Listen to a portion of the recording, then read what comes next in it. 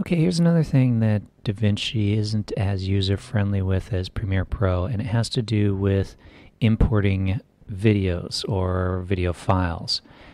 So, for example, I've got these screen captures that I'm doing that I'm using to record these tutorials with, and the screen capture software I use records at 15 frames per second.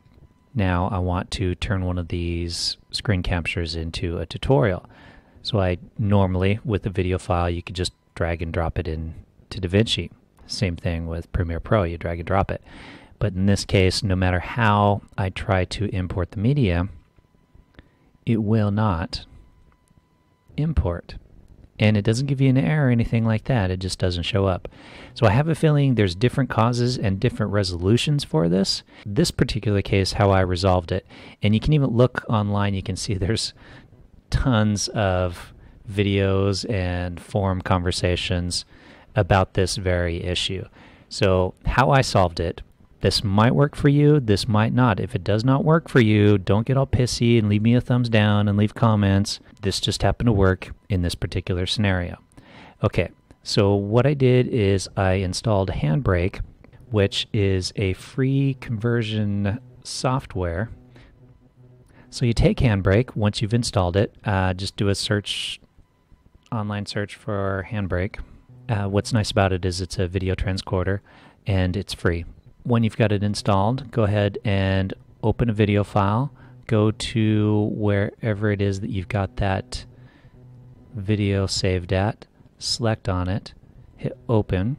I went for MP4 and I went for fast 10, 1080p at 30 frames per second. And for my file destination, I'm just going to put it back in that same file folder where I started. And I'm going to name it save it, and start encoding. I'm going to speed up the video.